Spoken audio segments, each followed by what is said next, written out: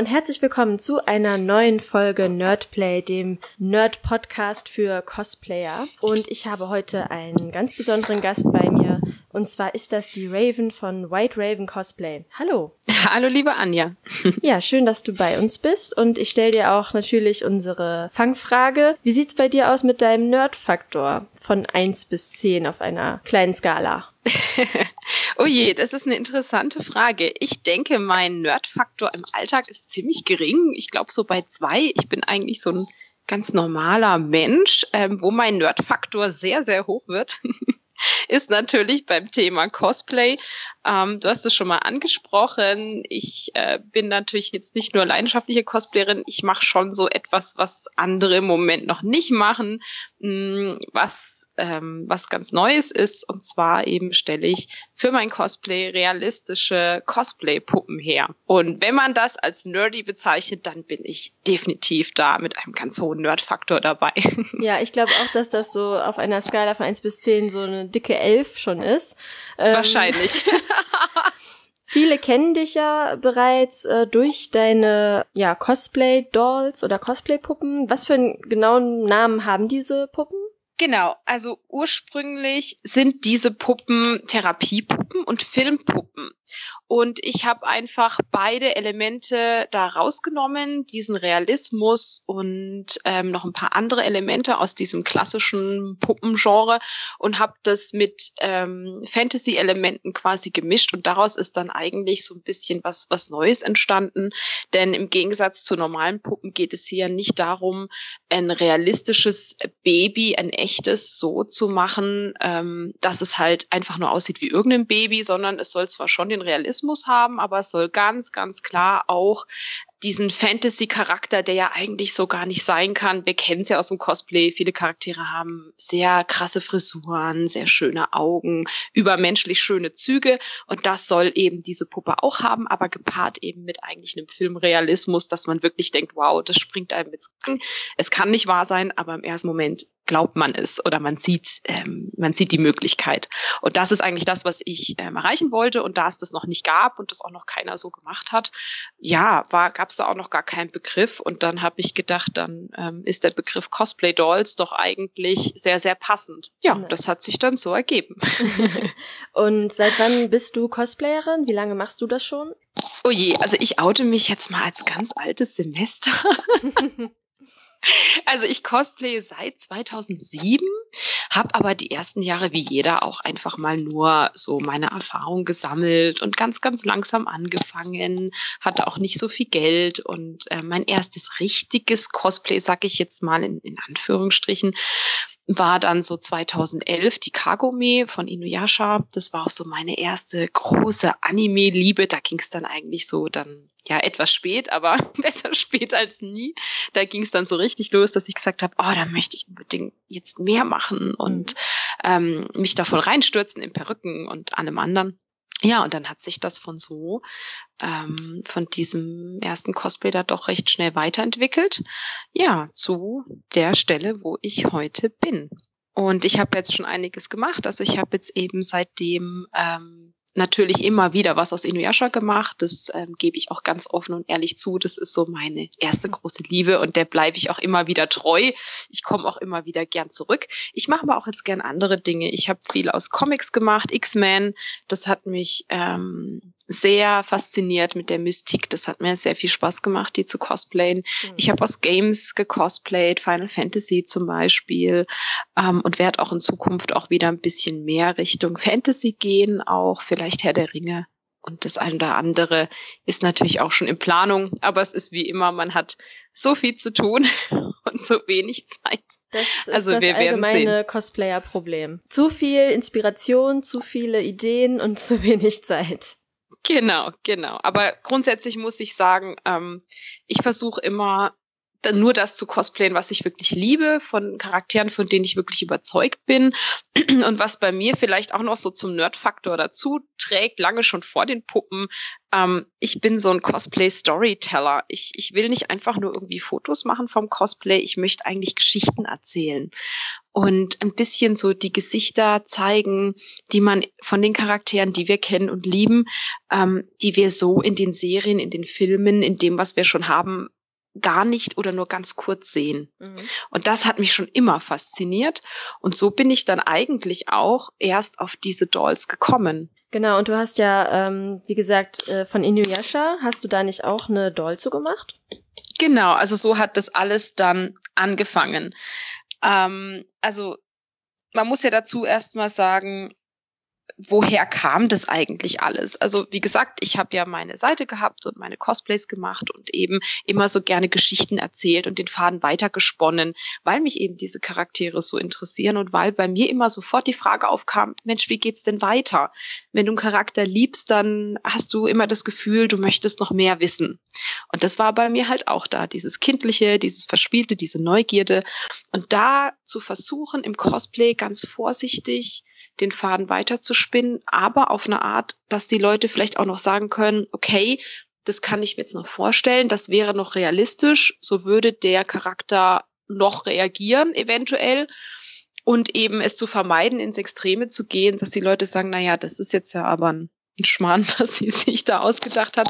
Gutes Risiko hat man immer, man lehnt sich ja immer aus dem Fenster, aber das ist so das, was, was ich ähm, immer machen wollte, wo ich mich immer ein bisschen, ähm, also doch sehr bemüht habe und immer sehr viel Zeit ähm, in meine Recherche eigentlich investiert habe, damit man da diesen, diese goldene Mitte findet zwischen neuem Content, aber trotzdem noch angelehnt an dem, was wir kennen. Ja, und aus diesem, aus dieser Begeisterung heraus, neue Geschichten zu erzählen, war dann eigentlich so der Zufall ähm, hier der Schicksalsschmied. Also meine beste Freundin wurde schwanger und ich war total begeistert und habe dann gesagt, oh, wir waren gerade alles auf dem Inuyasha-Trip und ähm, dann habe ich gesagt, oh, das wäre ja ein Traum, wenn das Kind geboren ist, ähm, kann ich mir das dann mal ausleihen und mal ein Isaiwe Baby Inuyasha-Shooting machen? ja, super, machen wir. Naja, dann kam die Realität. Also zum einen wurde es nicht ein Kind, es wurden zwei. Ach, Zwillinge. ja, die haben natürlich die ersten Wochen erstmal im Krankenhaus verbringen müssen. Ja. Währenddessen wir dann überlegt haben, wie lässt sich das mit einem echten Kind überhaupt realisieren? Und die ernüchternde Antwort ist eigentlich gar nicht. Du kannst ein kleines Baby weder stundenlang zu einem Fotoshooting rumschleppen, die Kinder sind ähm, extrem stressanfällig am Anfang auch. Sie müssen viel schlafen. Die Kostüme, die du nähst, sie wachsen da so schnell raus. Wenn das Kind eine Woche krank ist oder zwei gefühlt, dann passt schon die Perücke nicht mehr. Und eben überhaupt kann man einem Neugeborene Perücke aufsetzen und das Schminken natürlich nicht. Nee. Das, das hatten wir alles gar nicht bedacht. Wir waren ja jung und naiv. Und dann kam so eben diese Ernüchterung und ich sagte noch, werde ich nie vergessen zu meiner Freundin, oh, ich find's so schade. Ich hätte so gern ein Cosplay-Foto gemacht. Natürlich machen wir normale Fotos, ja, aber das wäre so mein Traum gewesen. Und sie und ich haben immer viel gebastelt und sie grinst mich in dem Moment an und sagt, dann musst du dir halt dein eigenes Baby basteln. Und ich habe sie angeguckt und gesagt, du bist ja wohl nicht ganz dicht. Ein Baby basteln, wie, wie stellst du es vor? So, so Plastik-Baby bohren? Das ist ja peinlich. Da kann ich mich ja nirgendwo mehr blicken lassen. Das mache ich nicht. Ich habe ja auch so einen Sinn für Ästhetik. Ähm, bin halt bei mir selber auch recht ähm, streng mit mir selber, sag ich jetzt mal. Also ich, ich bemühe mich immer, die Sachen so gut wie ich sie halt kann umzusetzen mit so einer Liebe fürs Detail und das war für mich also fernab jeglicher Diskussion, dass man jetzt so eine Plastikbaby da in ein Tuch einwickelt und sagt so, das ist jetzt Inuyasha. Und da sagte sie, nee, da gibt's doch so Filmpuppen, die sind total real. Ich habe das gesehen, da gab's mal eine Doku, informier dich doch da mal. Ja, das war dann der Anfang von allem.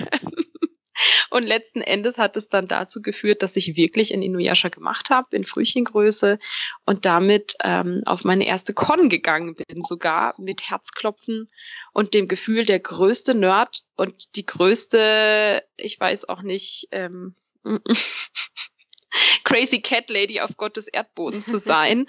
und die Mütter, ich werde es nie vergessen, es war Frühjahr und der Kleine war in unserem Tuch eingehüllt und die Mütter haben mich angeguckt, die Besucher, die, die keine Cosplayer waren, völlig entrüstet, was ich da mache.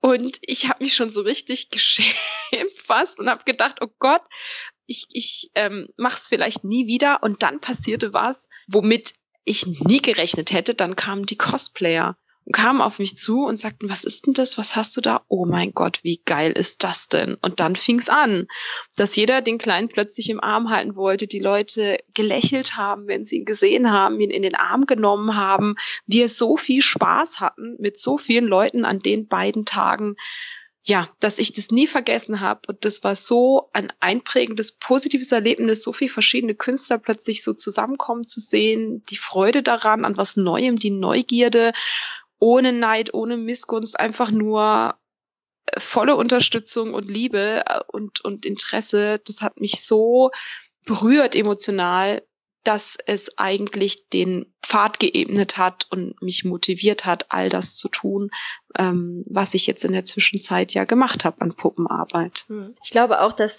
gerade bei Con-Besuchern, die mit Cosplay jetzt nicht so bewandert sind, die sich da nicht so gut auskennen, die haben wahrscheinlich direkt gedacht, das ist ein echtes Baby und ja. warum nimmst du das mit auf eine Con, ne? So wahrscheinlich in, in dem Sinne. Und äh, die Cosplayer haben wahrscheinlich direkt erkannt, was es nun wirklich ist. Genau, also der Witz ist ja, das gab es ja vorher noch gar nicht. Das muss man ganz ehrlich sagen. Ich habe damit absolutes Neuland betreten. Es hört sich jetzt auch im Nachhinein alles so einfach an, aber ehrlich gesagt war sowohl am Anfang auf den Cons, vor allen Dingen aber auch online, war es gar nicht so einfach. Äh, gerade online war alles harte Überzeugungsarbeit. Ich erinnere mich an meine ersten Posts, die ich je gemacht habe mit den Puppen. Ich musste jedes Mal dick und fett in großen, fetten Buchstaben drunter schreiben, äh, das ist eine Puppe und kein reales Baby. Mhm. Weil plötzlich Leute mich bedroht haben per PM, ist es dann schon fast wirklich lustig, wie ich es wagen kann, meine Kinder da zu schminken und zu quälen für Fotoshootings und sie schalten das Jugendamt ein. Und das war, ja, das war wirklich, direkt, wirklich süß. Da gibt's direkt Leute, die äh, übertreiben und die aber nicht richtig gucken, ne? Genau, genau. Und dann habe ich aber zurückgeschrieben, dass ich das ähm, verstehe. Und ich habe mir dann, ich bin ja jemand, ich sehe Sachen grundsätzlich positiv. Ich dachte mir dann, Mensch, hey, wenn die, die wenn die Shaming machen, weil du deine Kinder quälst, in Anführungsstrichen, dann machst du doch vielleicht nicht alles falsch. Dann bist du doch vielleicht im Realismus auf dem richtigen Weg. Und dann habe ich mich eben halt doch ähm, sehr intensiv weitergebildet und nach Inuyasha das war natürlich jetzt erstmal ein erster Versuch. Und dann habe ich halt wirklich jetzt ähm, sehr hart auch gearbeitet und ähm, sehr viel ähm, ja Know-how und Wissen mir angeeignet und zusammengesucht, um überhaupt mal jetzt die nächsten Puppen auch noch realistischer zu gestalten, so dass sie eben jetzt mittlerweile muss man ja auch sagen, was macht diese Puppen aus? Es ist jetzt nicht einfach nur eben eine Cosplay Doll, ist nicht einfach ein, ein Babyborn mit ein paar weißen Haaren drauf im Fall von Inuyasha. Das ist zum einen erstmal schon mal eine Puppe, die einem echten Kind nachempfunden ist oder vielleicht sogar ein 3D-Druck ist von einem echten Kind aus Vinyl. Mhm. Diese ähm, Bausätze werden angefertigt aus, ähm, das sind ganz, ganz viele verschiedene Arbeitsschritte ja, die damit einfließen. Also es fängt eigentlich schon mal damit an, dass viele Künstler, ich mittlerweile auch, einen Prototypen aus Polymer Clay herstellen, also aus einer tonähnlichen Masse, mhm. die wirklich anatomisch einem echten Kind nachempfunden ist. In meinem Fall natürlich mische ich echte Babyanatomie mit diesen Anime-Zügen, was sehr, sehr schwer ist. Sehr schwer, weil diese ja. Babys haben keinen Speck, die haben nichts, die haben keine Fehler, keine Flaws und trotzdem müssen sie irgendwie noch puppig und, und, und süß aussehen. Und das ist natürlich ein Prozess, der dauert unglaublich lang so. Und daraus kann man dann, ähm, wenn man das möchte, die nächsten Schritte einleiten und sagen, entweder gießt man das jetzt in Silikon oder man behält es so, wie es ist und malt es an. Das habe ich bei Kurt Wagner gemacht, bei X-Men als mhm. ähm, Test. Das hat sehr gut funktioniert. Oder eben, ähm, was man eben macht, man kann es in Vinyl gießen. Und da gibt es eben auch schon Künstler, die sich darauf spezialisiert haben und das dann in Vinyl herstellen. Allerdings muss man da halt auch eine Mindestabnahme Menge haben und das Ganze kostet Tausende von Euro. Also es ist eine sehr, sehr teure Geschichte. Ja. So, und das heißt, das ist ja schon mal unsere Grundbasis. Jetzt wird dieses realistische 3D-Modell eines Kindes sozusagen aus einem was jetzt ein, weiches, elastisches Material ist meistens, wird ja jetzt bemalt in ganz vielen verschiedenen Schichten. Jede Schicht wird einzeln gebrannt mit einer Spezialfarbe. Es ist also dann ein irreversibler Schritt. Und da kommt eine dreidimensionale Hautstruktur drauf, da kommen Adern drauf, Kapillaren, also winzigste Blutgefäße an den Augen, mhm. an der Stirn. Die Haut wird so richtig transluzent, dass du die Adern durchscheinen siehst. Die Nägelchen kriegen eine dreidimensionale und realistische Struktur.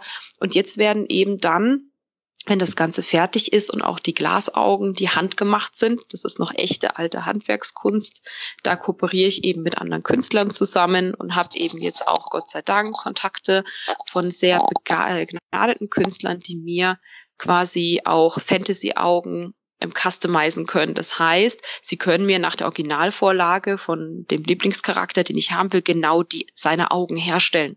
Und die gibt's dann einmal auf der Welt. Die gibt's dann nur da. Und wenn das alles dann endlich gewacht ist, dann kommen ja noch die Haare drauf. Die kommen in einem realistischen, das nennt sich Routing, dass man die in den Kopf einsticht mit einer Nadel. Jedes Haar wird einzeln eingesetzt. Je nach Größe, die ganz kleinen Babys haben so ganz feines Mohair. Das ist dann wie so ein ganz weicher Katzenbauchflaum, sag ich jetzt mal. Das mhm. fühlt sich fantastisch an. Oder die Älteren wie Noctis bei mir, der war jetzt ein bisschen größer schon, die kriegen echtes Menschenhaar eingesetzt.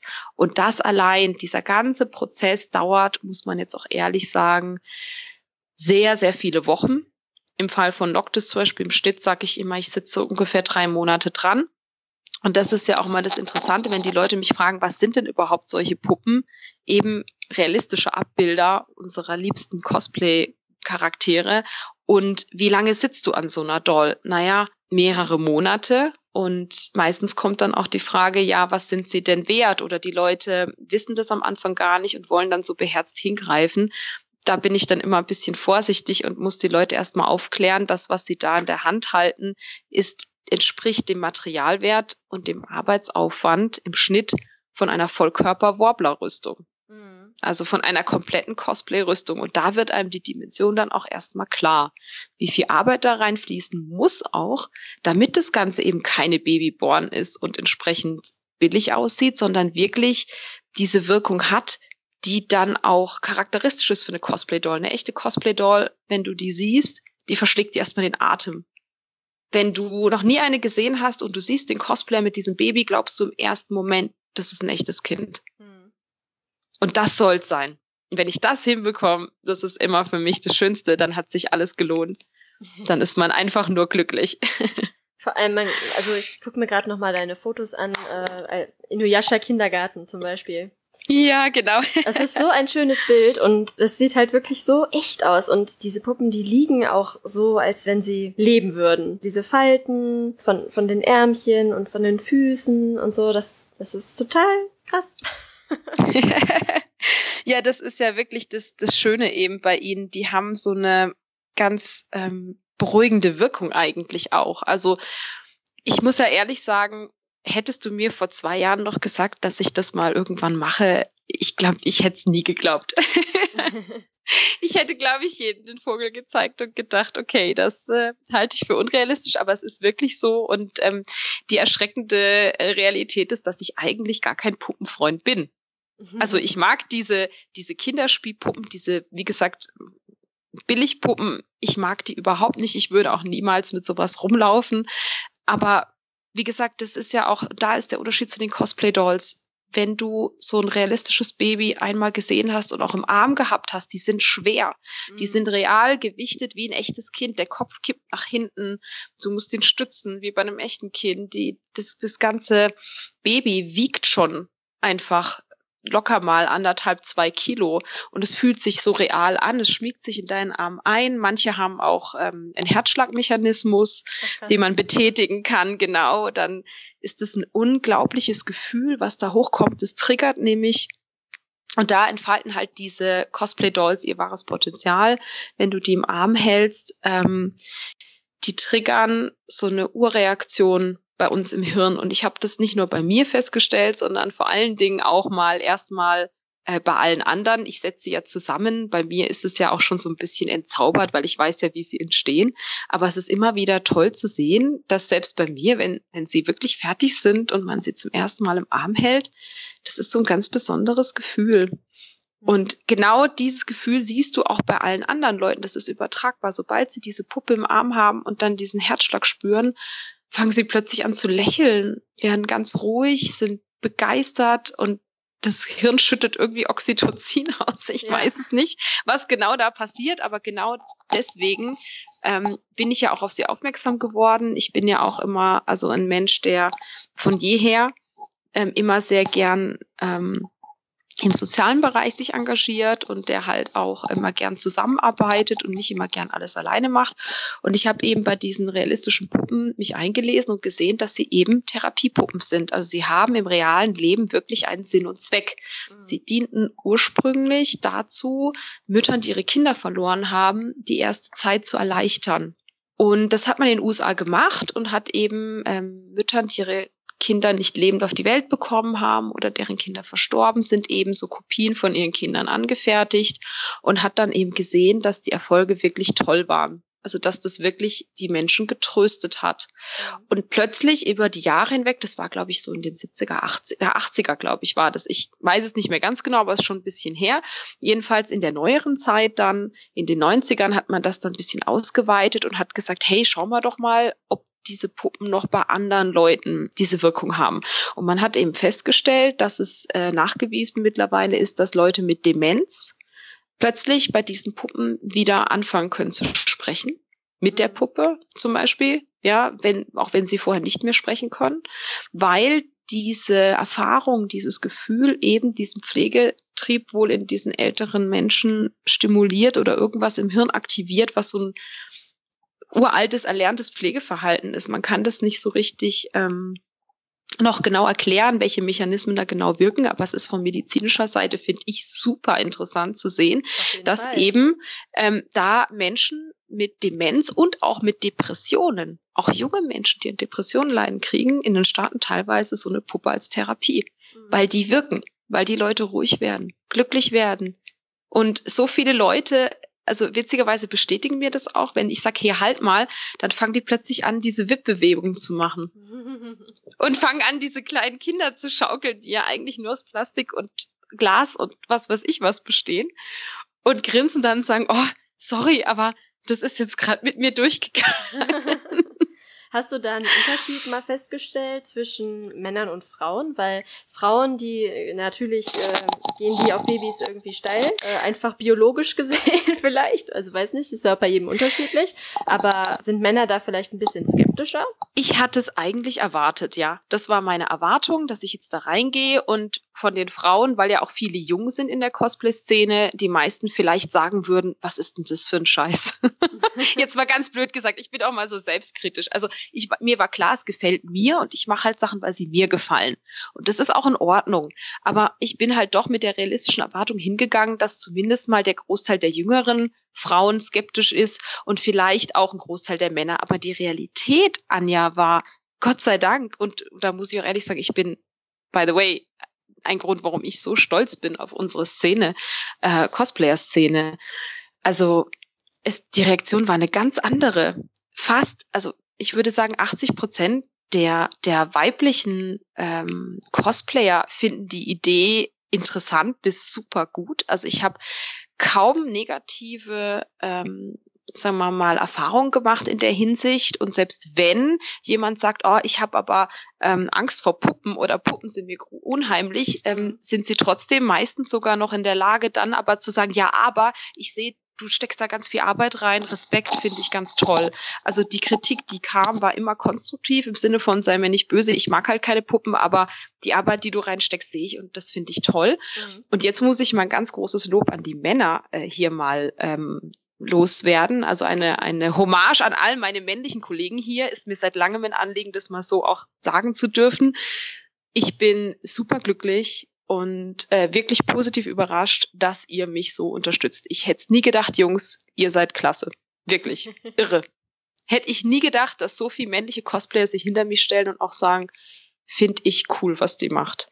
Also, das ist schon eine Aussage, fand ich wirklich bewundernswert äh, für mich äh, jetzt mal, ähm, dass die männlichen Kollegen da so supportive sind. Also. Ja, es überrascht mich auch ein bisschen. Weil ich könnte mir schon vorstellen, dass viele Männer damit nicht so viel anfangen können. Aber wenn du die Erfahrung gemacht hast, dass die das auch interessant finden, dann finde ich das echt super. Also sobald sie sie im Arm haben, ist es vorbei. Das ist nämlich, das ist wirklich so. Und das war bei mir nämlich auch so. Ich habe die erste gesehen, die dann mal gut war, die realistische. Und sie zu sehen ist eine Sache. Das war so, wie wenn man Schwert sieht, was man toll findet, aber was mhm. man genau, wo man genau weiß, ach, da habe ich jetzt nicht die die Zeit und die, die Skills, mir das selber zu craften, aber mal schön das zu sehen. Aber in dem Moment, wo du diese Puppe dann im Arm hast, eben kommt dieser ganze Realismus, der überwältigt dich. Die riechen ja teilweise sogar nach Baby. Sie fühlen sich so an. Sie verhalten sich in deinem Arm so wie ein echtes. Das überflutet einfach dein Hirn auf eine ganz positive Art und Weise. Und ähm, man muss einfach lächeln. Und so ging es mir auch. Die hat mir das Ding in die Hand gedrückt und seitdem war ich ja fasziniert. Mhm. Und das sieht man auch bei den männlichen Kollegen dann. Die sind dann, die fangen dann auch an zu grinsen und sagen, wow, cool. Hätte ich nicht gedacht, dass die so schwer sind auch. Und ich finde, man sieht es halt auch auf den Bildern. Du hast ja gesagt, ne, mit so einer Cosplay-Doll hat man auch einfach viel mehr Möglichkeiten, den eigenen Charakter auszudrücken. Und damit hat man einfach so viele Möglichkeiten auch, genau wie du gesagt hast, eine Geschichte zu erzählen. Genau, also das war eigentlich dann auch so der Punkt, wo es dann quasi nerdy wurde bei mir. Am Anfang waren die Puppen oder Inuyasha, Baby Inuyasha, mein allererster, war ja am Anfang einfach mal nur ein Versuch und ein Traum. Ich wollte unbedingt Isaiwe cosplayen, die erkennt halt auch keiner ohne Inuyasha. Das heißt, ich hatte einen Charakter, der mir am Herzen lag, den ich aber so im klassischen Cosplay-Stil gar nicht so gut porträtieren kann, weil die Verbindung gefehlt hat. Sie ist die Mutter des Hauptcharakters. Wir kennen alle den Sohn. Über die Mutter Mutter weiß kaum einer was, die kommt ganz kurz mal vor und wenn sie einer gecosplayt hat, dann ja, saß sie halt immer irgendwo alleine rum, ohne Bezug zu irgendwas und das fand mhm. ich immer so traurig. Also hat mir diese Puppe erstmal die Möglichkeit eröffnet, den Leuten einen Bezug zu geben. Isaue mit dem Baby, ach, das ist doch die Mutter von Inuyasha und plötzlich hat die einen Charakter und hat Gefühle und eine Tiefe. Und Isaue war ja auch jetzt nicht so die die langweilige Traummutter, wie man sie sich vorstellt. Also meine ersten Cosplay-Fotos sind ja durchaus auch dark, wo man eben auch sieht, wo sie über die Schulter zurückschaut in einem brennenden Wald und sich eigentlich flüchtet nach der Geburt des Kindes, ja, wo sie fliehen muss, weil dieses Kind eben ähm, ja, unter Umständen entstanden ist, die jetzt nicht ganz in die japanische Mythologie ähm, und in die, in die feudale ähm, das feudale Ehrverständnis ähm, passen. Das macht ja den, den, das Drama und den Kick von dem Anime aus. Inuyasha ist ja eben, wie gesagt, der Sohn von einem Dämon, von einem Yukai und einer Menschenfrau.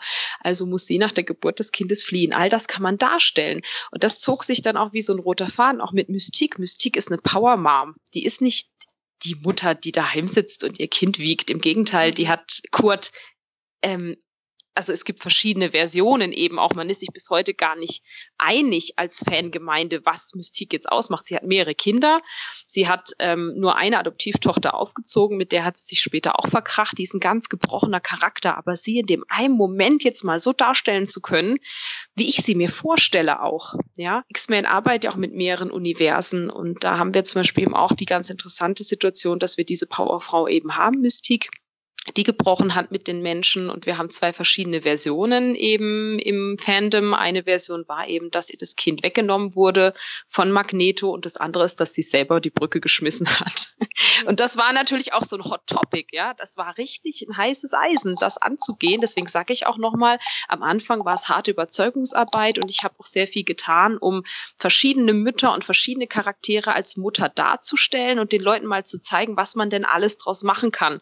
Du musst nicht nicht immer nur die romantische, süße kleine Hausfrau sein. Du kannst alles sein. Du kannst die Powerfrau sein, du kannst die Böse sein, du kannst die Gute sein und man kann auch Vater sein. Also wir haben dann eben, wie gesagt, ähm, um das Thema Mystik zu beenden, habe ich mich dann entschieden, Mystik von der Seite zu zeigen, wie ich sie mir gewünscht hätte. Nämlich als mhm. Powerfrau, aber als Löwin die ihr Junges verteidigt. Und das ist super toll angekommen. Da haben die Leute gesagt, so vielleicht auch so, wir könnten uns vorstellen, dass das so der eine kurze Moment ist, bevor sie äh, quasi getrennte Wege gegangen sind. Ja, die, die Leute, die es halt dann original haben wollen. Und die anderen, die für Fandom offen sind, haben gesagt, wow, wow, ganz toll, ähm, das haben wir uns auch gewünscht. Das heißt, ähm, wir können eben, also nicht nur ich, sondern auch eben auch Kollegen plötzlich, das war die Erkenntnis, ich kann mit diesen Puppen einen Charakter von verschiedenen Seiten darstellen, wie ich ihn alleine niemals darstellen kann. Das ist das Erste. Das hat man mit Mystique gesehen, das hat man mit Isaiah gesehen. Ich kann überhaupt mal Charaktere darstellen, die sonst so eher in der Versenkung verschwinden. Ich kann, wie gesagt, ähm, verschiedene Mutterrollen darstellen und Liebe ist eine ganz starke Triebkraft ähm, für Emotionen. Liebe ist die mächtigste Emotion und Liebe gibt es in tausend Formen. Es gibt die Liebe einer Mutter, es gibt die Liebe eines Vaters, es gibt Liebe unter Geschwistern, es gibt freundschaftliche Liebe. Mit diesen Puppen bekommt es plötzlich auch so eine ganz eigene Dynamik und was eben der nächste wichtige Schritt auch war jetzt eben, wir haben halt nachdem wir diese ersten beiden Erkenntnisse gemacht haben, meine Kollegen und ich, haben wir dann gesagt, Mensch, warum machen wir nicht mal ein Projekt zusammen? Das wäre doch mal was. Vielleicht ähm, sind diese Puppen ja nicht nur für mich was, sondern auch was für andere. Mhm. Und da muss ich ehrlich sagen, das war dann eigentlich so die zündende Idee. Wir haben dann ein Shooting gemacht mit Wesenskostüms als Ino no Taisho, die dann den kleinen Sesshomaru ähm, einfach auf dem Arm gehalten hat als Vater und Sohn. Ja, also äh, Ino no Taisho ist der Vater von Sesshomaru und Sesshomaru ist der, der bekannteste Charakter aus Inuyasha und auch ein ganz, sagen wir mal, ähm, beliebter Charakter, gerade auch bei den Mädels. Mhm. Und die Leute hatten, wir wissen nichts über Sesshomaru eigentlich in seiner Kindheit. Wir sehen ihn immer nur als jungen Erwachsenen und er ist der Mädchenschwarm und die Leute sind ausgeflippt, weil sie gesagt haben, Mensch, oh mein Gott, wie süß ist das denn? das hätten wir ja nie gedacht, ja. Und dann dachte ich mir auch so aus Spaß, also, naja, wen liebst du als, als Mensch als erstes und für immer? Du liebst deine Mom, ja. Also Partner und Freunde und alles andere ist immer nicht so garantiert im Leben, aber das ist natürlich meistens etwas, wo, sagen wir mal, eine gewisse Stabilität da ist. Man hat halt eine Mutter, man hat einen Vater und das so darstellen jetzt auch zu können, auch das enge Band, was Sesshomaru mit seinem Vater hat, dass das natürlich seit seiner Geburt geknüpft wurde, das hat uns unglaublich gefreut und wir hätten auch nie damit gerechnet, was dann passiert ist. Dieses Bild ähm, von eben Wesenskostüms als Ino Taisho mit meinem kleinen Sassy wurde von über zwei Millionen Leuten im Netz gesehen. Es mhm. wurde tausendfach geteilt, es wurde tausendfach kommentiert. Wir hatten ich bin innerhalb von drei Tagen, glaube ich, von 2000 Likes auf 5000 Likes hochgerutscht. Also das, das war vor einem Jahr, das war unglaublich. Im September auch noch. Also wir hätten nie damit gerechnet. Wir wussten gar nicht, was los, los war. Und meine Freundin hatte eben äh, Wesenskostüms zu der Zeit gerade die Pläne, ihre eigene Seite aufzumachen. Und ich muss ehrlich sagen, eben, es hätte mich nicht glücklicher machen können, was passiert ist. Nämlich dieses Foto und dieses Bild ging um die Welt und es hat nicht nur mir was gebracht, sondern allen, dem gesamten Team, von der Schneiderin über die Visagistin, über den Fotografen. Alle haben Likes und Aufmerksamkeit bekommen. Alle konnten als Künstler sich weiterentwickeln und es hat meiner Kollegin eben ermöglicht, ihre eigene Seite Wesens Kostüms aufzumachen. Und das war eigentlich auch so der Moment, wo wir geblickt haben, wie viel Potenzial in diesen Puppen wirklich steckt und zwar nicht nur für einen allein, sondern generell für die gesamte Cosplay-Szene oder auch halt für uns als Kollegen. Diese Puppen bieten uns nicht nur die Möglichkeit zu völlig neuen Welten, die wir entdecken können. Ja, wir können nicht nur die, die Geschichte von unseren Lieblingscharakteren völlig neu entdecken und erzählen oder vielleicht auch mal die nächste Generation, Fanbabys und so oder Fankinder. Man muss ja nicht nur Babys machen, ich kann ja alles craften. Du kannst ja mhm. auch ein sechs, siebenjähriges Kind herstellen, die das ist ja alles unbegrenzt, sondern wir haben auch jetzt die Möglichkeit, uns als Künstler zusammenzuschließen und gemeinsam Content zu kreieren. Genau das mache ich jetzt zum Beispiel, wo wir jetzt gerade sprechen, ist der eines meiner neuesten Projekte, der kleine Prompto aus Final Fantasy 15. Der ist jetzt gerade bei zwei meiner Cosplay-Kolleginnen und wird dort ähm, in Duisburg ähm, dieses Wochenende geshootet. Also die werden ein Fotoshooting machen und werden eben die Geschichte erzählen, wie es in Final Fantasy 15 weitergeht. Und äh, Cindy und Prompto sind ja quasi so ein, ein, ein Pärchen, ein inoffizielles ähm, in, dem, in der Fangemeinde und ähm, viele haben mich gefragt, eben, ob ich nicht einen kleinen Prompto machen kann. Und wir können dieses Baby jetzt natürlich auch doppelt nutzen, indem dass wir sagen, ja, natürlich ist es ein Baby Prompto, aber es kann ja genauso gut ein Fanbaby sein von Prompto und Cindy. Und genau das wird jetzt dieses Wochenende umgesetzt in der Werkstatt. Ich bin richtig gespannt, ähm, was diese beiden Künstler da ähm, mit ihren Ideen und ihrem Können umsetzen werden und wie sie das interpretieren werden, das Thema für sich. Und da siehst du eben, dass da sich eine ganz neue Welt eröffnet. Und das ist eigentlich, was diese Cosplay-Dolls auch von normalen Props unterscheidet. Wenn ich ein Schwert schmiede oder eine Rüstung mache, dann habe ich die entweder für mich oder für irgendjemand anderen.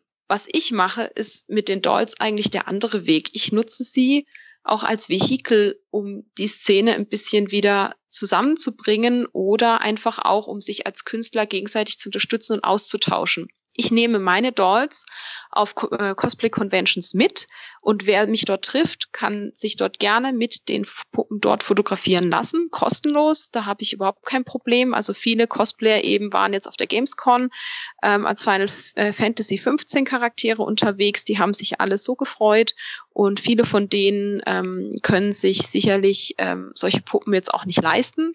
Und dann haben die aber trotzdem die Möglichkeit, quasi sich dort ähm, fotografieren zu lassen und da Fotos zu machen. Ich fühle mich geehrt. Ich finde es immer toll, wenn andere auch so viel Spaß dran haben wie ich. Wir hatten super tolle Gespräche. Und ich muss auch ehrlich sagen, wenn wir über die Gamescon schon reden oder über so eine Con, ähm, das Feedback, ich kriege ja auch ganz viel zurück davon, muss man jetzt auch ehrlich sagen. Also mich hat unglaublich beeindruckt auf den letzten Cons, gerade auch auf der Gamescon, dass ich ähm, so viel auch äh, Zuspruch und Feedback, positives und liebevolle Unterstützung bekomme als Dankeschön, ähm, obwohl ich es weder erwarte noch äh, in irgendeiner Form Weißt du, was ich meine? Also ich, ja. ich habe es ja gar nicht erwartet. Vor allen Dingen halt, da das ja alles selber talentierte Künstler sind. Also für mich sind meine Cosplay-Kollegen, für uns sind wir nicht, nicht nur Nerds. wir sind vor allen Dingen erstmal Künstler. Und andere Künstler, die so tolle Sachen machen, Mensch, wenn die sich über so eine Kleinigkeit, dass sie da mal ein Foto machen, so freuen und dich da auch unterstützen und sagen, du bist äh, cool, mach das weiter. Das war für mich die größte Ehre und da fühle ich mich auch ehrlich gesagt wirklich äh, sehr, sehr glücklich und da bin ich auch wirklich sehr dankbar dafür, dass ich die Chance habe, so tolle Leute kennenlernen zu dürfen und mit denen auch arbeiten zu dürfen. Das muss man ganz ehrlich jetzt auch mal so sehen. Ähm, wenn Leute, die wirklich selber handwerklich und cosplaymäßig viel auf dem Kasten haben, sich die Zeit überhaupt mal nehmen, sich mit dir und deiner Arbeit auseinanderzusetzen, das finde ich unglaublich toll. Ich glaube, du hast auch, wenn du auf einer äh, Con unterwegs bist, hast du auch immer irgendwie so eine kleine Menschentraube um dich rum, oder? Ja, ich mein, mittlerweile schon. ich meine, ich, mein, ich habe dich auf der RPC gesehen, da waren aber gerade so viele Leute bei dir. Da bin ich erstmal bin ich erstmal weitergegangen, dann habe ich dich leider nicht mehr gesehen, oh. aber Süß. weil das halt so ein so ein Magnet ist irgendwie, ne? Genau, total. Und das ist ja das Schöne auch. Also die Cosplay-Dolls sind auch ein Magnet. Das ist nicht wie ein Schwert, was du mit dir rumträgst und dann bist du alleine, sondern diese Dolls sind wirklich der Schlüssel zum Herzen für andere Leute. Du bist ja. auf so einer Con mit so einem Baby nie allein. Und das sagen mir jetzt auch die Leute, die eine von mir als Commission gekauft haben, wie jetzt eben der kleine Loki war jetzt mein neuestes Projekt. Also erstens schon mal, du kannst ja unglaublich viel umsetzen von sämtlichen Filmcharakteren über Anime, über you name it. Fantasy, alles. Es ist alles möglich. Und da habe ich eben jetzt den kleinen Thor machen dürfen, äh, den kleinen Loki aus dem Film Thor machen dürfen. Und ähm, ja, also ich, ich äh, krieg eigentlich immer das, dasselbe Feedback ähm, von den Menschen, die meine Puppen dann haben, dass sie auch sagen, Mensch, du bist nie lang allein. Die Leute kommen, die wollen den Kleinen halten, die unterhalten sich mit dir und du hast plötzlich die Chance, plötzlich dich mit Menschen zu unterhalten und auszutauschen auch gerade wenn man vielleicht wie ich eigentlich eher so ein schüchterner Mensch ist. Also ich, man glaubt es nicht so wirklich. Aber der erste Moment ist für mich auch immer ein bisschen Überwindung. Und da bin ich so froh, diese Puppen mittlerweile zu haben, weil ich genau weiß, die Leute kommen auf mich zu. Ich, ich muss gar nicht mehr viel machen und dann muss man nur noch ins Gespräch kommen und schon lernt man wirklich tolle Leute kennen. Das ist wie wenn man Hundewelpen auf, auf dem Arm hat. Da gucken auch immer alle. Ja, genau, genau. Also es hat definitiv diesen, diesen Cuteness-Faktor. Ähm, mhm. Und vor allen Dingen halt eben, wie gesagt, man hat wirklich die Möglichkeit, auch sich als Künstler da zusammen zu ähm, schließen und wirklich ganz, ganz tolle Projekte zu machen, die man allein auch gar nicht umsetzen könnte, muss ich jetzt auch ehrlich sagen. Mhm. Das ist halt auch was, was nicht nur für mich, sondern auch für andere Cosplay jetzt immer und immer mehr interessant wird, wo sie halt merken, oh wow, dann Cosplay eben. Ich Cosplay Prompto, du cosplayst Cindy. Wenn wir jetzt noch so einen kleinen haben und noch so eine Werkstatt, dann haben wir drei, vier, fünf Faktoren, die wir zusammenschmeißen können und oh mein Gott, da kommen echt coole Sachen bei raus. Und nebenbei hat man halt neben viel Spaß sich halt auch noch persönlich kennengelernt, Kontakte geknüpft und ähm, vielleicht auch eine Freundschaft fürs Leben dabei gewonnen. Also genauso hat's ja bei mir auch angefangen, dass einige Kollegen, mit denen ich ja einfach nur kollaboriert habe, da sind so tolle Freundschaften jetzt draus entstanden, die ich, die ich nicht mehr missen möchte. Das ist sehr schön. Das ist die Hauptsache, wenn man mit netten Leuten auf jeden Fall dann zusammen ist. Auf jeden Fall. Und eben wie gesagt, ähm, ich denke halt, dass diese Dolls eine völlig neue mm, Dimension eröffnen im Cosplay. Wir hatten halt vorher doch, ähm, wir haben ein breites Repertoire schon in der Szene, allein an der Masse an Serien und, und Themen, Charaktere, die wir machen können, an verschiedenen Genres, aber auch von den Props, von den Verarbeitungsformen her, Rüstungen, Stoffe und so weiter. Wir haben ja schon sehr, sehr viel, aber eben in der Richtung hatten wir halt noch gar nichts. Und das muss ich ehrlich sagen, finde ich jetzt super interessant, auch zu sehen, wie es da in Zukunft weitergehen wird mit diesen Puppen, weil da sehe ich ehrlich gesagt noch ganz, ganz großes ähm, Potenzial. Und da bin ich natürlich auch als äh, Herstellerin, Crafterin noch ganz am Anfang meiner Möglichkeiten und freue mich da total auf die Zukunft, das jetzt mal zu beobachten, wie das weitergeht, was die Leute da mit meinen Puppen umsetzen werden und was da in Zukunft alles möglich sein wird. Wie viele äh, Dolls hast, also wie vielen Dolls hast du denn schon das Leben geschenkt? oh, Chemini. Also jetzt müsste ich wirklich mal kurz zählen. ähm, ich habe gemacht Inuyasha, Sesshomaru, ich habe gemacht den Nightcrawler und Quicksilver aus den Comics, ich habe aus Final Fantasy Prompto und Noctis gemacht, ich habe den Loki jetzt gemacht. Ähm, jetzt gerade ist Nummer 8 dran. Das ist ein geheimes Geheimprojekt, uh. das ich genau innerhalb äh, geheißer Tipp an alle, die bisher tapfer durchgehalten haben und diesen Podcast gehört haben. Auf meiner Facebook-Seite White Raven Cosplay wird wahrscheinlich innerhalb der nächsten zwei bis maximal drei Wochen dann ein ganz neues Projekt äh, entstehen und äh, entsprechend dann äh, veröffentlicht werden. Also reinschauen lohnt sich. Ja, und es kommen definitiv bis Weihnachten auch noch ein, zwei. Ach, eine kleine Reden habe ich auch noch gemacht. Genau, also ich bin jetzt so knapp vor meiner zehnten, würde ich jetzt sagen. Das ist schon eine Menge, finde ich. So in dem Zeitraum auch. Ja, also es, es, es war jetzt auch sehr viel Arbeit, muss ich ehrlich sagen. Man muss auch mhm. dazu sagen, ähm, dieser Crafting-Prozess ist auch, der handwerkliche Prozess ist auch nicht zu unterschätzen.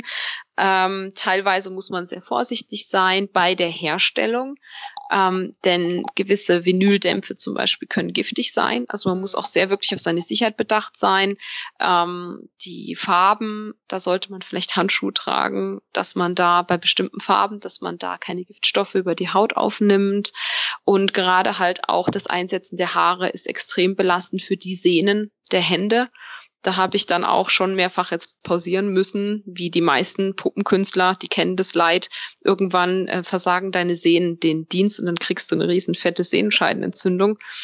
Und ähm, genau, da muss man natürlich ähm, sehr gut haushalten mit seinen Kräften und allein aus dem Grund ist es schon gar nicht möglich, so eine Puppe in einer Woche oder so herzustellen in der Qualität, wie sie dann auch filmreif und Shooting ähm, passabel dann ist.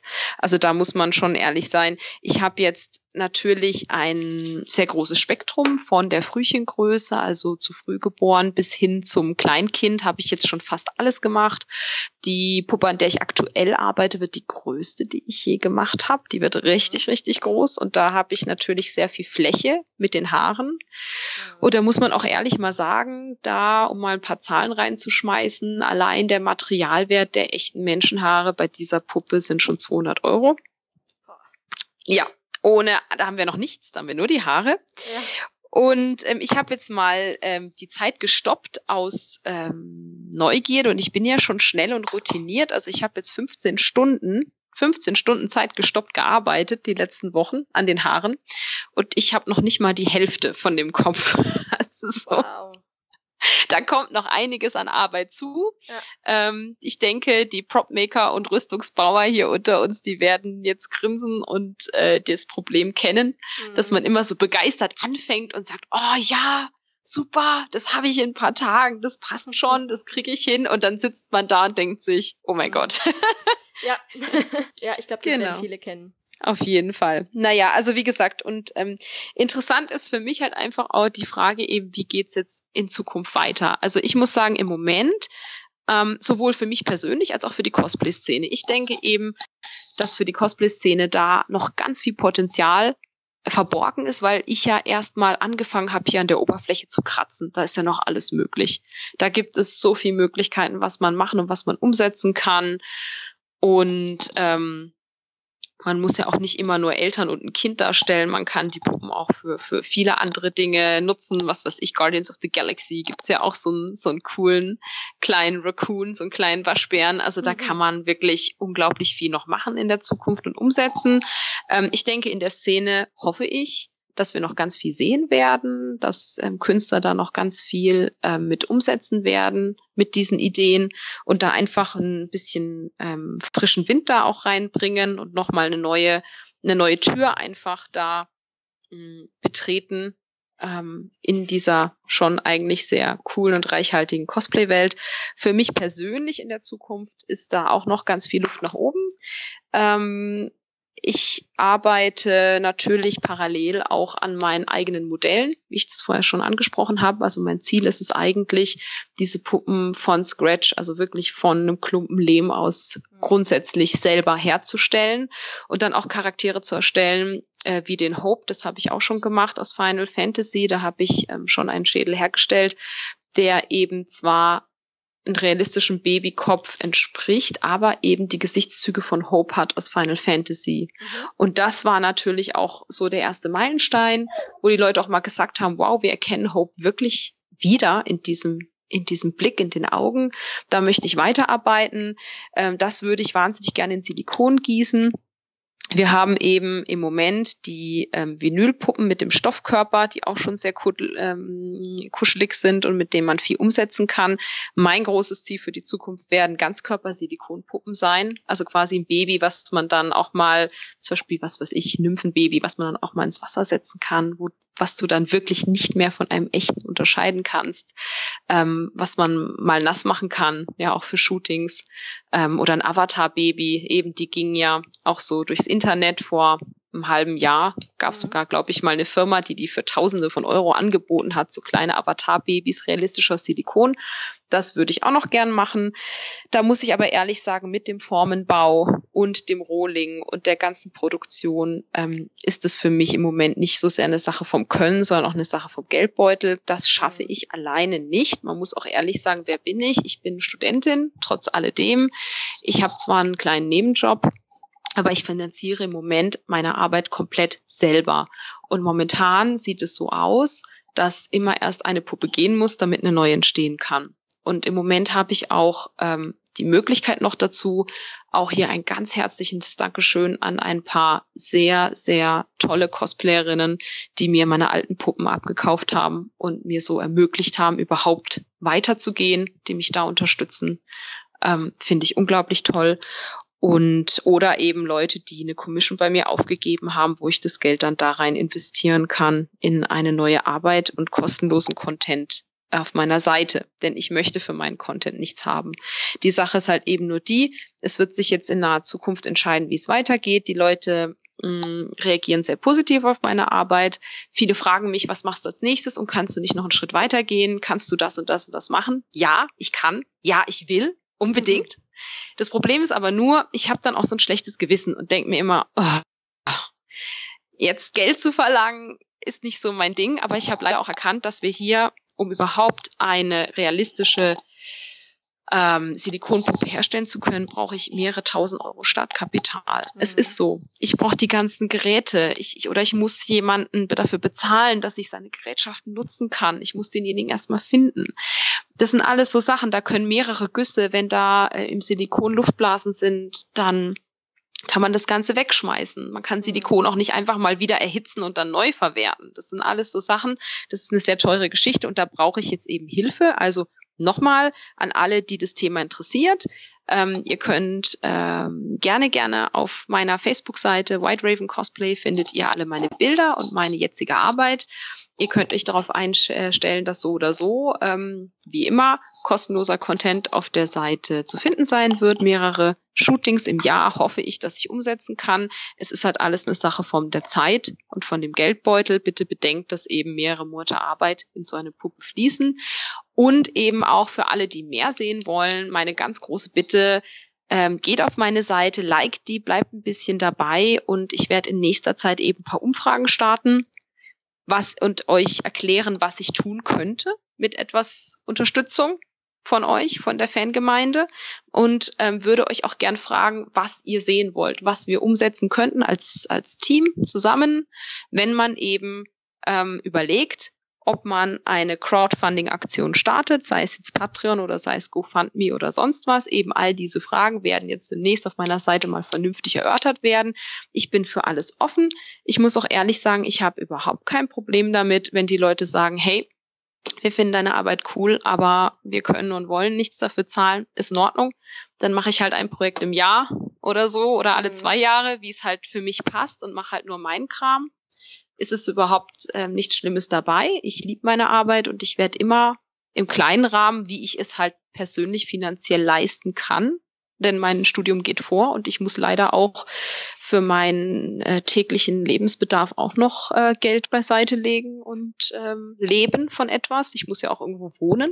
Mhm. Oder eben was natürlich toll wäre, ich würde mich sehr freuen, wenn die Leute eventuell sagen, ja, wir finden dich interessant, wir möchten, dass du besser wirst, dass du noch realistischer malen kannst, dass du mit anderen Materialien arbeiten kannst, dass du vielleicht wirklich so krasse Filmpuppen machen kannst, die von echt nicht unterscheidbar sind, Vollkörpersilikon-Sachen. Wir möchten das und das unbedingt sehen und wir helfen dir dabei. Also das wären so die beiden Möglichkeiten, in die es gehen kann in der Zukunft. Da bin ich wirklich für alles offen und da würde ich mich wirklich total freuen. Ich antworte auch fast auf jeden Comment, wenn ich es irgendwie kann, wenn alle, die es interessiert und die auch ähm, gerne ein bisschen kommunizieren, da einfach äh, meiner Seite mal einen Besuch abstatten, die liken, abonnieren und äh, mich einfach auch wissen lassen, ähm, ob und wie man dieses Thema ähm, mit Patreon und neuem und mehr Content in Zukunft umsetzen kann. Denn ich muss ehrlich sagen, wenn ich die Wahl habe, anstatt einen Job, sagen wir mal, ähm, zu machen, würde ich natürlich lieber Cosplay-Content machen. Ist ja Logo. Aber es muss halt alles bezahlt werden und finanziert werden und ich mache, was immer ich kann, natürlich alleine. Aber für einige Sachen brauche ich einfach Hilfe. Und wenn die interessant sind, glaube ich, dass wir zusammen als Community richtig, richtig interessante und geile Sachen zusammen erschaffen könnten. Ja, vielleicht finden sich ja die ein oder anderen von euch da draußen, die da Interesse dran haben. Die sollten auf jeden Fall mal bei der White Raven auf der Seite vorbeischauen. Und ich habe noch eine letzte Frage. Ähm, Gerne. Sind denn was? Also du hast natürlich viele Pläne jetzt für die Cosplay Dolls, aber hast du auch äh, eigene Kostümpläne noch für dich? Oder stehen oh die Gott. immer im, im Zusammenhang mit den Puppen? jede, jede Menge.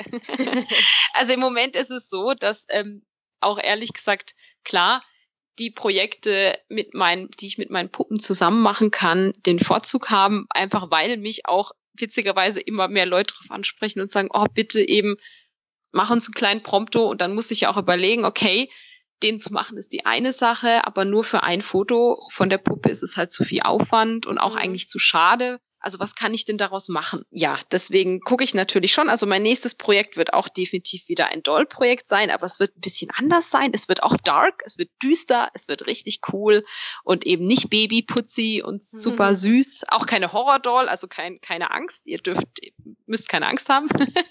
aber es wird mal wieder ein ganz anderes Thema und ähm, trägt halt mal wieder zu dieser Vielseitigkeit bei. Ich muss aber ehrlich sagen, ja, natürlich, klar, meine Mystik, die trage ich auch unglaublich gerne alleine und ich habe mir auch überlegt, so vielleicht noch so von X-Men den ein oder anderen Charakter würde ich wahnsinnig gern ähm, noch machen. Ich werde auch definitiv noch den ein oder anderen Anime-Charakter machen. Ähm, auch mein Female Inuyasha, den man der ja eigentlich 2011, glaube ich, war das, der auch gut, ganz gut rumgegangen ist im Internet. Da haben die Leute auch mal gesagt, oh, zieh den doch noch mal bitte an. Werde ich auch noch mal auf jeden Fall machen. Also man trifft mich, keine Sorge, auf jeden Fall auch mal wieder, also ohne Babys. Und ich denke, was ich ähm, in naher Zukunft umsetzen möchte, ohne Puppe, ist auf jeden Fall Lightning von Final Fantasy. Mhm. Die lieb ich. Die werde ich auf jeden Fall machen. Und ja, das ein oder andere Projekt wird immer dabei sein ohne Puppe. Einfach weil ich als Künstler auch vielseitig arbeiten möchte. Also ihr werdet jetzt nicht nur Doll-Sachen bekommen.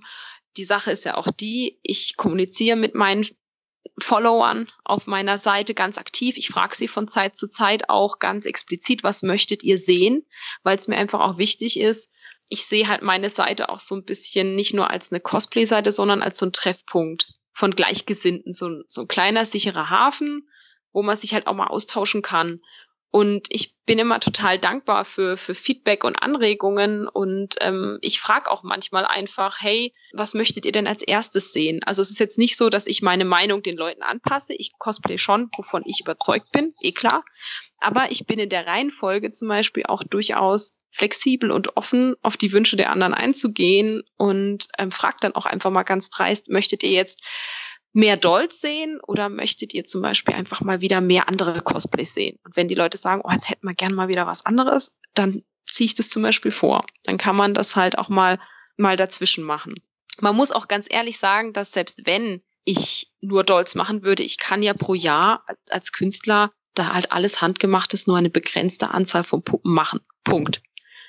Und der Crafting-Prozess dauert so lange, dass ich allein aus dem Grund auch schon ehrlich gesagt nicht nur Puppen machen möchte, sondern auch weiterhin ähm, meine Cosplay-Projekte, ähm, auch Solo-Projekte, aber auch Gemeinschaftsprojekte ohne Puppen da in den Zwischenphasen auch immer gerne umsetze und umsetzen werde. Also ich denke, es bleibt weiterhin abwechslungsreich und bunt bei mir. Soll ja auch Spaß machen. Eben, eben. Und das ist für mich eben der Grundgedanke hinter allem. Ich mache grundsätzlich nur, was mir Spaß macht. Das ist der beste und Weg. ich, ich bin damit auch am besten gefahren, weil es ist, es ist und bleibt ein Hobby, muss ich jetzt ja. ehrlich sagen. Und selbst wenn es kein Hobby sein würde, was ich nicht glaube, aber selbst wenn es so sein würde in Zukunft, ähm, sich ergeben würde, dann sicherlich per Zufall und dann sicherlich auch so, dass man, man kann nur gut sein in etwas, wo man seine Leidenschaft und sein Herz reinhängt. Und das mhm. muss einfach immer da sein. Insofern würde es, glaube ich, für meine Arbeit auch gar keinen Unterschied machen, ob ich da jetzt, ob ich arbeiten gehe, um mir das Cosplay zu bezahlen, oder ob ich vielleicht einfach irgendwann mal die Möglichkeit habe, nicht arbeiten gehen zu müssen für Cosplay, sondern nur noch für meinen Lebensunterhalt und dann halt die Freizeit in Cosplays stecken kann und die halt besser noch zu machen oder ein bisschen noch spektakulärer, das ist natürlich offen, aber an der Art und Weise, wie ich arbeite, wird es nichts ändern, weil ich trotzdem einfach immer finde, dass man auf einem Foto die Seele sehen muss von einem Charakter oder irgendeine Emotion. Und das ist halt so das, wofür ich brenne und was bei mir immer im Fokus stehen wird, dieses Gefühl. Ich bin auf jeden Fall gespannt, was deine nächste Doll sein wird, wie die aussehen wird. Da bin ich schon gespannt. ich hoffe, die anderen auch. Ja, und ich freue mich spannend. sehr. Ja, das auf jeden Fall. Äh, ich freue mich sehr, dass du heute uns so viel erzählt hast über diese Cosplay-Dolls, was ja nun wirklich ne, nicht jeder kennt, was wirklich mal was anderes ist. Und ich denke, wir werden da noch äh, sehr viel von sehen. Also ich danke dir ganz, ganz äh, herzlich für die Chance, heute hier zu sein. Ich danke allen Zuhörern für ihr Interesse und äh, für ihr Durchhaltevermögen. Ich hoffe, es waren ein paar Informationen dabei. Ansonsten, wie gesagt, ihr erreicht mich auf meiner Facebook-Seite White Raven Cosplay. Ihr könnt mich gerne anschreiben. Alles gar kein Problem. Ähm, wenn ich nicht sofort antworte, liegt das eben daran, dass ich nebenher auch noch arbeiten und studieren muss. Also bitte ich da um etwas ähm, Verständnis, dass es vielleicht nicht immer sofort klappt, aber ich äh, melde mich eigentlich recht zuverlässig innerhalb der nächsten Tage und äh, beantworte sehr, sehr gerne alle Fragen. Ja, und wünsche euch allen eine tolle Zeit. ja, vielen Dank. Und ich sag schon mal bis zum nächsten Mal. Tschüss. Dankeschön. Ciao.